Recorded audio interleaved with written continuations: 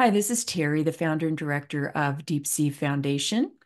I am joined today by a returning guest on our foundation channel where we talk about all topics related to breast cancer and breast reconstruction. And my returning guest is Lacey Reid. I interviewed Lacey about her DIEP flap experience. So please go to the DiepC Journey podcast or you can watch it here on the DiepC Foundation uh, channel. And you can type in a young nurse and her DIEP flap recovery in the search engine using that little icon, uh, eyeglass icon, to find that video. So, to recap my introduction, Lacey is a registered nurse residing in Guthrie, Oklahoma. In November of 2022, she was diagnosed with triple positive breast cancer at the young age of 33. Lacey has over 10 years of bedside experience as a nurse from working in a cardiac ICU where she cared for countless ECMO patients to her current role as an outpatient surgery recovery RN. She's a young mom to three and two year old girls who are now napping during our interview. So we're going to roll with our questions. Um, I invited Lacey back to today to speak specifically about her experience with cold capping during her chemotherapy treatments. Lacey, welcome back. It's good to see you again. Thank you for having me. It's kind of cool to be back. I know this is fun, and I'm I don't have a cold capping video, so I'm excited to talk to you about this. Can you? Let's first of all just give a, a brief description about your diagnosis and treatment, and why you decided to, you know, research cold capping and move forward with it. So uh, I was diagnosed November 22 with triple positive breast cancer. Um, at the time um, of diagnosis, it was uh, stage one, um, uh, 1A 2, 1B. We biopsied it. Um, I it was not in my lymph nodes, um, so at that point we knew I was stage 1A. Um, the first thing you do when you get breast cancer is you get on the computer and you start researching. Everybody does it. They tell you not to Google, but you do. Well, that led me across to this thing called cold capping, and people were saving their hair during chemo because the first thing you hear that if you're going to have to go chemo, do chemo, then you will probably lose your hair. And so when I saw that, it sparked my interest. Um, I always tell people um, my hair's honestly the thing I like most about myself. Um, I've got two young girls who are super princess obsessed and they sit and do my hair all day now. Um, and so uh, when I saw that there was a possibility I could save my hair, I delved into it. And um, I thought, well, I could do that. Um, and so I looked at all of the options that were out there and I told a couple of friends, and they uh, said, Hey, I've seen this influencer. They did that too. And led me across them. And I watched their stuff and gained a little bit more confidence. Um, but then there was a money issue as well. Um, I was very fortunate. I had uh, some uh, friends and family who raised some money for me. Um, so I was able to pay for it that way because cold capping is not covered by insurance yet. We're hoping to change that. Um, but that's um, something I hope that I can get my word out there that it actually works for patients. Um, when I presented it to my oncologist, that um, that's something I wanted to do. That um, she was a little bit hesitant about it. She said, "Well, you know, it could it could work, but I haven't seen it work yet." And she's been practicing over 20 years um, in Oklahoma, and she said she had a uh, lady um, who was currently doing it, who was having a little bit of success. And this was at the very beginning of our first uh, meeting. And then later on in the meeting, she brought it back up and she was like, Well, you, you just have really great hair. And um, at the I, time, I um, concur. my hair was uh, longer than it was now. It was down past my breast, actually. Wow. And she said, Well, if anybody's going to try it, you know, you I think you should. So that gave me a little bit more confidence at that point. And I just dove into it 100%. I found a company that I really liked. Um, they could get the equipment to me fast. Um, they provided everything I needed uh, as well. And uh, I got the ball rolling and I did it.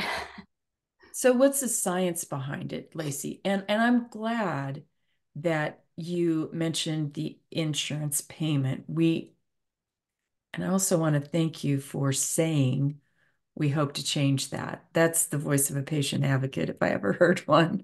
So, yeah, because I I remember when I had chemotherapy, I didn't know about cold capping. That was in 2002. So mm-hmm. I was I was bald. It was it was um psychologically difficult for me. I got sure. a wig. I'm going to say straight up front for me, I hated wearing it. But I was in Texas at the time and it was hot and it was summertime. Yeah, that's yeah, terrible. Ick. So I just generally I just wore a bandana most of the time, um, or I or I just you know didn't wear anything. Uh, I wish I would have known about cold capping then. So what is the science behind it? So basically, what it does is um, you freeze your scalp. And when you freeze your scalp, you constrict those blood vessels so they get smaller and the amount of chemotherapy drug that gets to the hair follicles is much less um, thus ensuring that the hair follicle stays intact so the hair follicle does not fall out mm-hmm. um, we've seen it uh, with uh, patients with neuropathy they wear ice on their hands and feet kind of for the same thing or to save your fingernails, um, things like that. So it's the same thought process. If you freeze whatever, the amount of medicine getting to that will be a lot less, mm-hmm. basically. Okay. Well, I know you have a great slide presentation for us today with lots of information. So let's go ahead and start screen sharing, and I will let you drive as you are showing us the screen. Yeah. Okay.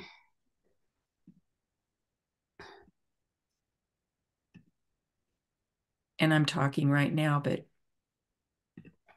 while you're All pulling right. this up. Got it on your slide? I do. Okay, cool. So this is uh, my experience. Um, I started in December uh, 15th, actually, 2022, which is your birthday as well. Yes, it is. uh, that was the day I started. So, um, one of the things to think about before you uh, start cold capping is probably your hair type. Somebody with a very thin hair type um, is probably not going to have as much success. Uh, there's some studies out there, and people, and myself, I would say nobody lost 0% of hair. Everybody lost a little. I would say mine was maybe 5 to 10%. Um, I explain my uh, shedding as very similar to what I went through um, the postpartum period. Um, I have a picture of my biggest shed, which is not much really um, comparative what people go through through this. Um, so before I have super super thick hair. Um, it was very long too. I've got coarse hair. It has a lot of texture. So I have a lot to lose. There's some people who don't have a lot to lose. And I would suggest to those people think long and hard about it especially if you don't have the funds for it or if you know you're going to dig out of your savings to get this. It is it worth it in the long run? I don't know and you have to have that conversation with yourself and your family. Mm-hmm. um, but for me um, i wanted to do it. I wanted to look like myself. Like i said before it's the thing i like most about myself. I mean i was voted best hair in my senior class so um, I, I really like my hair. hair I always have. Um, so one thing I did before I started chemo was uh, I cut my hair. Um, when my hair is very long, I have a lot more shedding. It tangles a lot more, um, and that's just something that happens on the regular. I have had instances throughout my life. I let it grow out and I cut it, and when I cut it, it's a lot more manageable it's not as heavy either. And one mm-hmm. of the most important things is through cold capping is you need to be very gentle on your hair. You can't wear it in tight ponytails. Um, you wash it in cold water. There's no, you don't take hot showers basically.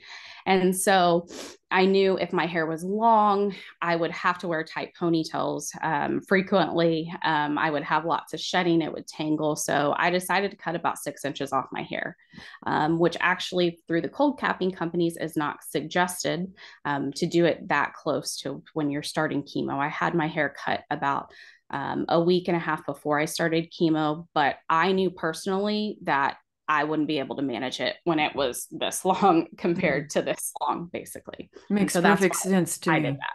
Yep, makes perfect sense to um, me. When you find um, a company um, that you like, there's several different companies out there. The company I chose was one in the United States, and two, they provided everything that I needed for cold capping. So, cost is a really big issue. Um, they were actually uh, right online with all the other companies, but getting all the other supplies then cost you more money as well. So, this company that I chose, they provided everything down to the cooler. Um, even hair ties I wore, they provided me with a temperature gun, gloves uh, to handle the dry ice, and a whole training um, uh, system both uh, i had videos to watch and i did uh, conferences one-on-one basically what we're doing as well them training me. Um, now if you're in the dallas metro area they uh, actually can come out and provide hands-on training but if you're not local then it's a zoom meeting basically and it was wonderful. I don't have any complaints about that. So good um, good patient support then. Yes. Um, they uh, run you through the timing of this um, and everything. That's the slide you see, um, my whole day basically. And by the end of the day, these sheets had so many little ticks on them. We kept running numbers of different things, um, how the caps were doing in the system. I had a total of six caps that were be being rotated throughout the day, and they had to be a certain temperature um, to go on my head. Um, the caps had to maintain a negative degrees Celsius temperature the whole time they were on their my head. So if I we would take one off and I would check it if it was a positive temperature, I knew I had to spend less time with the next cap on my head because I was spending too much time. So on average the caps were on my head about 20 minutes or 20 minutes before they reached that positive temperature. When they went on my head, they were about negative 35 degrees Celsius. And then when they came off, they were I was hoping they would be negative five to negative one um, degrees Celsius, and they would go back in the cooler. And they had this whole system. Um, you put these caps in on the dry ice, and then you take them off. And as you reach your your next available cap, it should be the right temperature. Now, sometimes they were actually too cold. And you'll see a slide here in a little bit with my mom sitting with the cap on her head trying to warm it up. We would go to the window and put it in the sun too, um, and just constantly checking um, the temperature of those was huge. And that's why you have to have a partner uh, doing this because if you're trying to receive chemo and trying to check your temperatures at the same time, it's impossible. Um, the caps, uh, they have to have an insert. The system I chose, not every um, system has the same type of caps, but these caps, they uh, you stuck a uh, bag of dry ice basically down in them and they held their shape. Because if you didn't stick this insert in there and with the dry ice they wouldn't hold their shape. And then you'll see in a minute when i have a video they won't go on your head because they're frozen pretty solid. Is the dry ice underneath the white inserts that you showed us um, so no, you just stick the bag just right in there, basically. I see. I see. Mm-hmm. Okay.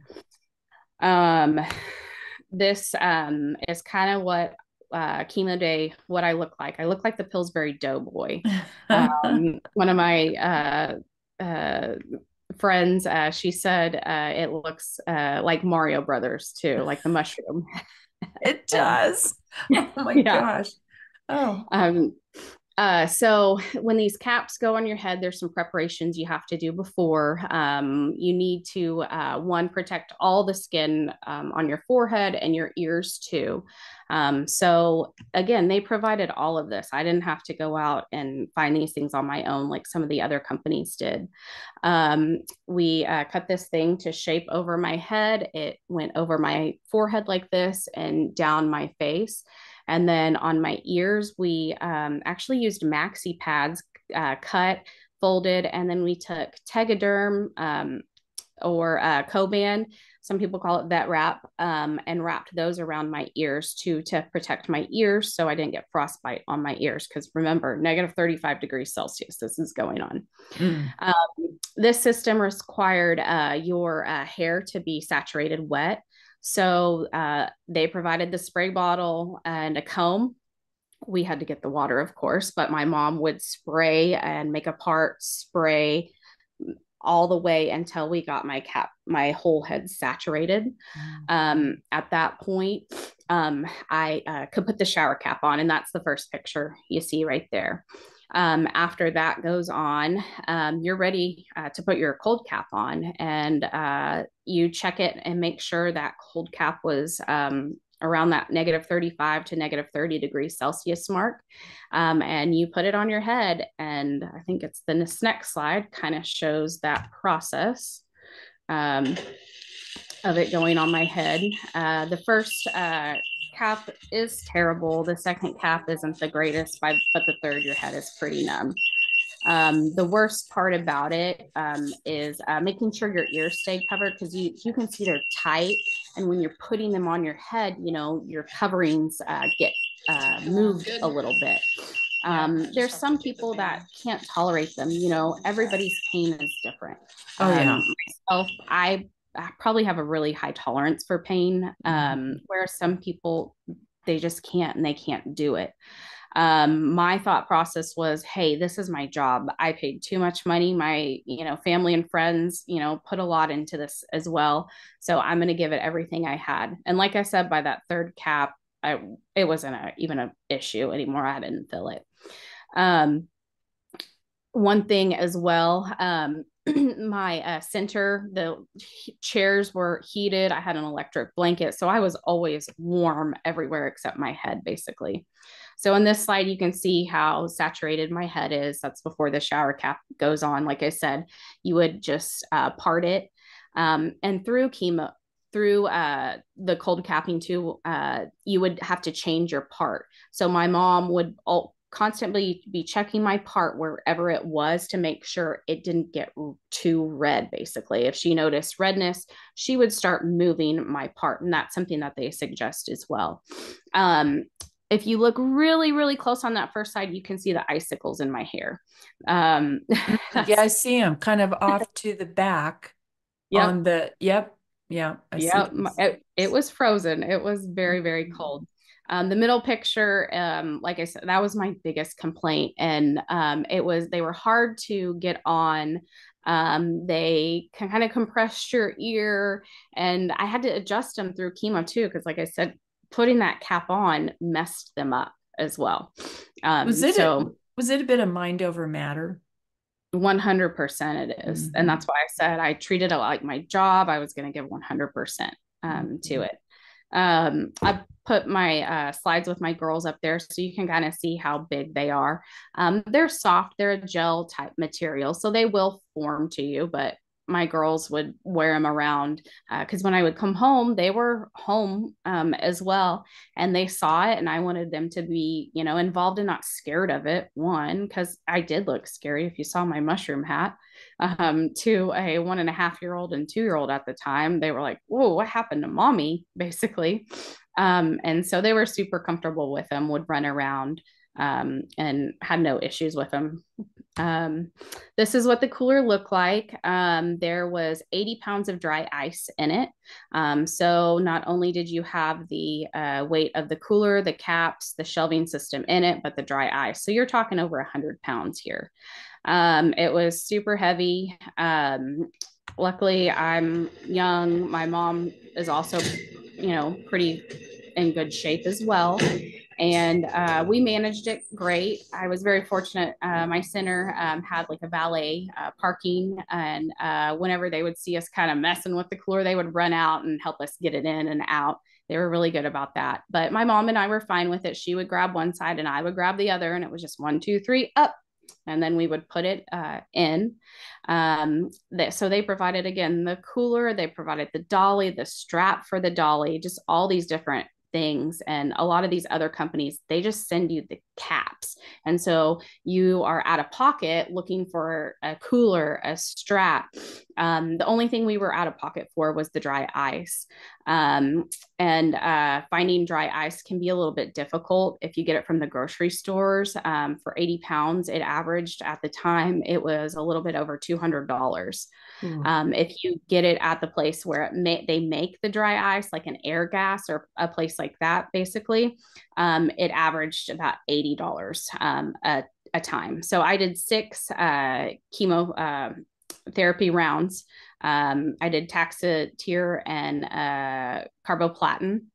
Uh, and uh, let's see. So my um, helpers were my um, husband. Um, he was the dry ice getter. So he would get the dry ice the night before and put it in the cooler. And then the morning of chemo, we would wake up and pack the cooler. The cooler had to be packed at three hours before you started chemo. They had it timed perfect. So if I had a chemo, my chemo start time was 8 a.m. We were getting up at 5 a.m. to get that cooler packed. Um, he would pack it for me and then my mom and I would basically take it over from there. That's my mom closing the cooler. If you look really close, you can see the dry ice uh, the vapors, uh, the gas coming off of it as well. Um, one thing to think about uh, when you're driving down the road, if you have dry ice in your car, one thing I didn't ever know is uh, you got to have your window open or because it's very toxic once it uh, vaporizes and hits the air. And so there was a couple times my mom and I we'd be driving down the road and we get you know 10 miles we're like oh no we don't have the windows open you know so we put the windows open real quick. Um there's my mom sitting in the chair like i said earlier um, sometimes the couch would be too cold and she uh, was uh, very warm. Um, and so use the cap to help herself out and to help me warm it up a little bit. You can see sitting on the cooler there's gloves to handle the caps. Um, again, they're dry ice and you can't touch dry ice with your bare hands. So you have to have gloves. They provided those. We've got our temperature gun right there as well. Um, and then I had a constant timer going on during this because the caps were every 20 minutes. I got to change. I got to change. But you got to think before that 20 minutes are done, you have to get the cap out and make sure it's the right temperature to get on your head too. Mm-hmm. So downtime, my mom maybe had five to less than 10 minutes, basically, in between each cap while she was doing this to try to figure out um, the right temperature. Um, the uh, day after chemo, this is what my hair would look like basically every day. It was just a ratty mess. Remember, my hair's thick, I have lots of texture to it. Um, I couldn't brush it because um, I would I would have to pull it too hard. So this is me. the uh, you're not supposed to wash your hair uh, three days post chemo. Um, so this is what your hair would look like. Um, they only suggest washing your hair one to two times a week. Um, for some people, that's really hard for because they're everyday hair washers. Uh, for me, I wasn't. Um, I did something called hair training several years ago. Um, that's a whole nother topic as well. Um, but um, I'm only I only wash my hair once a week. Um, again, it's really thick, and I had already trained my hair um, not to produce a lot of grease, anyways. And so I was fortunate in that. So again, I only washed my hair once a week uh, through this. I only had to take that cold shower um, once a week. Um, here's my timing. so the the first uh, picture there uh, is uh, the first time we did the ca- uh, cold capping uh, in December. I had nine over nine hours with that cap on my head, and the last one of the last times um, it was a little bit over seven hours that day uh, with the cold cap on my head. Again, so remember you, negative thirty-five degrees Celsius. oh. So you you would put it on in the infusion center at the cancer center and you would wear it home then because correct. So okay, yeah. you start this the cold capping 50 minutes before chemo starts. Mm-hmm. and then you do it all throughout chemo and then for four to five hours afterwards. And based on the type of chemo they'll tell you if you should do four to five. I figured i'll do five. They told me i only had to do four. I did five just because i was like it's not going to hurt me to do another hour. Yeah. Um because at that point I didn't really feel it. So I always did another hour um, than they suggested. Um, and that's one thing I did notice um, when I was researching it um, based on uh, this manual capping that I did. Um, versus capping um, these systems that some of these hospital have. I thought the people that I saw personally had better results with the cold capping because they were able to wear it longer after after the chemo was being given. Um, I was wearing it five hours afterwards. And if you have a system that's done in the hospital, it's usually only done two hours after you do chemo. So that's something to think about as well. Um, if you're thinking about cold capping, um, look at that and see what you think. Um, here's what I think maybe when I started wearing the ice on my hands and my feet, um, I did develop a little bit of neuropathy um, in them. So I started to do that. So, but remember, I had that electric chair and electric blanket. So I was pretty toasty. It was just annoying having those things on your hands because you can't do anything, which I think a lot of people do through chemo. That's pretty typical as well. Um, did you sit and chat with your mom? Did you did you look at what did you do? Yeah, I mean, I, we we were so busy with the caps. Like I said, they were yeah. being changed every 20 minutes, managing the ice. You know, I was the timer. I, you know, I had my watch. I was timing on my phone. I was timing on. Um, and they were, you know, in and out of there, you know, changing bags and stuff. So I didn't really have a lot of time to sit there and like scroll or read or watch TV to tell you the truth. It made the day go by super quick. I never had a relaxing day where I like brought a book and got to take a nap. No, that was not my chemo experience at all. Mm-hmm. I was doing work. um, and, I, and I see you had a dance uh, uh, song there to go with it. Yeah. So uh, it was cold. I would always send my uh, friends every time we would do it. Ice, ice baby. Perfect um, song. I love it. You can see there's a strap that goes under my chin there. I'll explain this a little bit. So I had the uh, gel cap on my head, and then there was another uh, strap that you would put on basically. Um, and it was a Velcro strap and it was super tight, but it made that uh, cap meet all points of your scalp basically um, so there was no areas of air and so that all those hair follicles were froze um, the worst part about that was it was super tight and i would constantly be going around like this.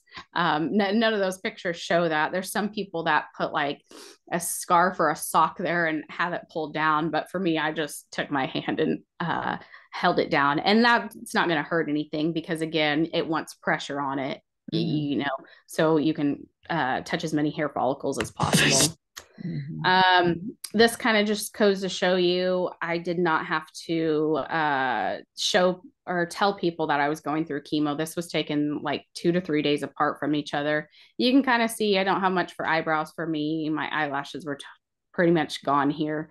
But the very next picture was taken, like I said, a couple days later, and I patched my eyebrows on. I put some eyeliner on, and I went out to eat, you know, dinner with my husband, and nobody had to know that I was having chemo. In fact, I had a lot of friends who didn't know what was happening um, through it. And later on, they were like, Oh, I had no clue you were going through that. And I was like, Well, that was my goal. I didn't want to have to talk about it until I was ready.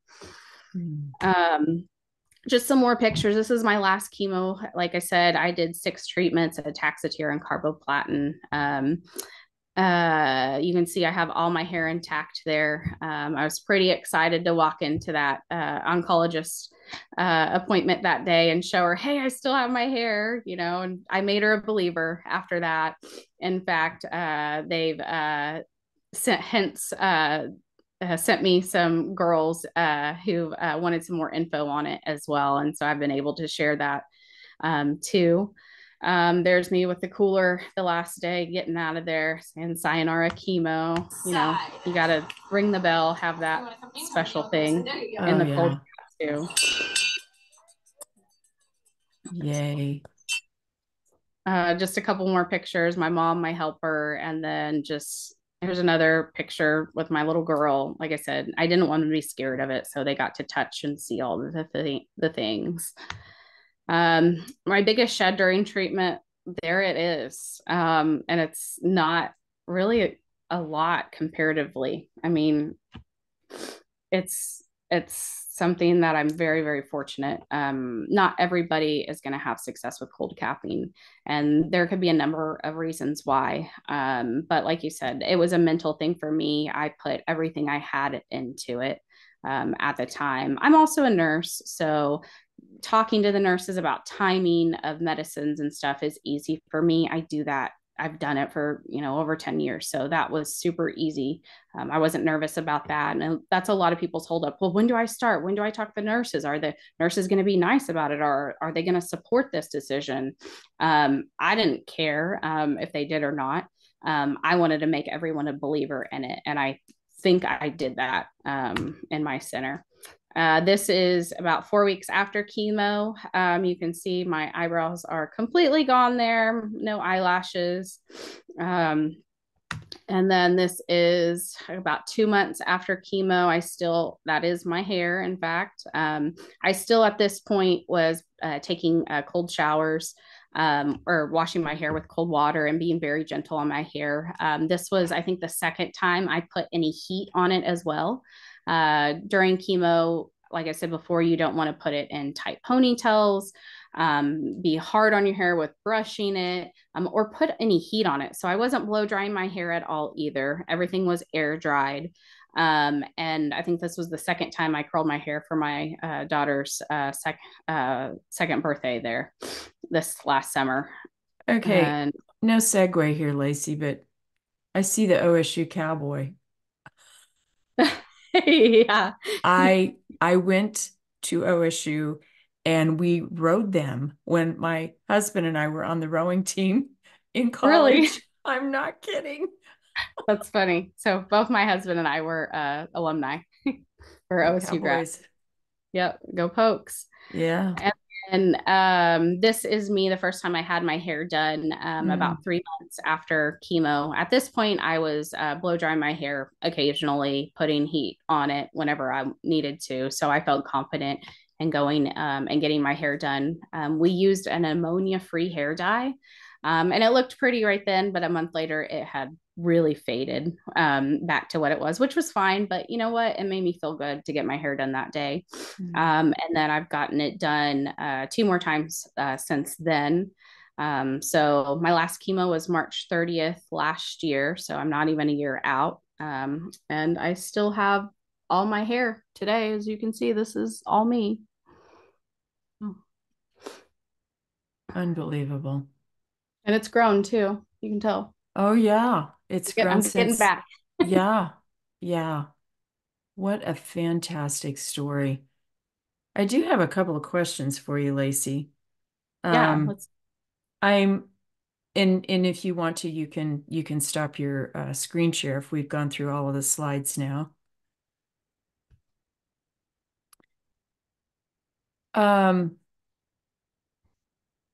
so my questions are this. I'll wait till you get done with the screen share. It should be down at the bottom. I think there's an option that says stop screen share. Clear down at the bottom of the of these. Yeah. Got it. I can edit this stuff out. um, so I have a couple questions for you, Lacey. Uh, uh first of all, Oh my gosh, thank you for the transparency of that presentation. You left yeah. no stone unturned, but you were very transparent about the commitment that it took. My question is this Were you working at the time that you went through this? Because I'm thinking to myself, if you're a working woman and you have an eight to five job, you're going to have to make some adjustments. You said yeah. you had that on for yeah, so I was. Um, I uh, am just what they consider PRN um, in my nursing position, so it's on an as-needed basis. Mm-hmm. Um, I've been uh, with my current employer. Um, it'll be a little bit over six years now. Um, so I've got uh, some really good rapport built up with our team, and they were super good about you know if I was available, I could work. Um, if I was sick or on chemo days, you know they knew I couldn't. Um, so I tried to work as much as possible. Um, maybe I averaged at the time um, working one time a week, basically. Um, but there were some weeks I got sick um, and I couldn't. And two, I've got young kids who um, really aren't in childcare other than mothers Day out. So um, I am their primary caregiver um, basically on every other day. So I only had limited availability. I was working, but mm-hmm. Um, I did. I worked uh, all during it. So my biggest takeaways from this are time commitment and cost. Mm-hmm. Yeah. I mean, the, those are the things that I think women need to know about if they're going to consider cold capping. Uh, and all the details you give. Thank you so much. I'm going to give yeah, a huge shout out to your mom and your husband. Yeah, they I deserve mean, it. You know, caregivers are just such an integral part of breast cancer treatment, recovery, surgery, all of the above. So, I thank you so much for sharing this with us today. I really, really appreciate it. Um, yeah, it you're was, very welcome. Yeah, and and especially from a nurse's perspective, I think it helps to really know the science behind it. But again, your transparency in talking about the good, the bad, and all the things of cold capping. Yeah, yeah. It's not for everybody but um, i think everybody should have access um, to the option to do it and be presented with it rather than me who had to kind of find out the information on their own. But i think it because of me i mean it's being presented in uh, my community now. So that's exciting well we're going to get this out on the uh, DiepC Journey uh, private facebook group and in the DiepC Foundation community because it's a story worth telling. Thank you again for sharing it with us today, Lacey. I really appreciate it. Very good. welcome. Thanks for having me. And good to see you and your lovely locks of hair again. Oh, thanks. Take care. You too.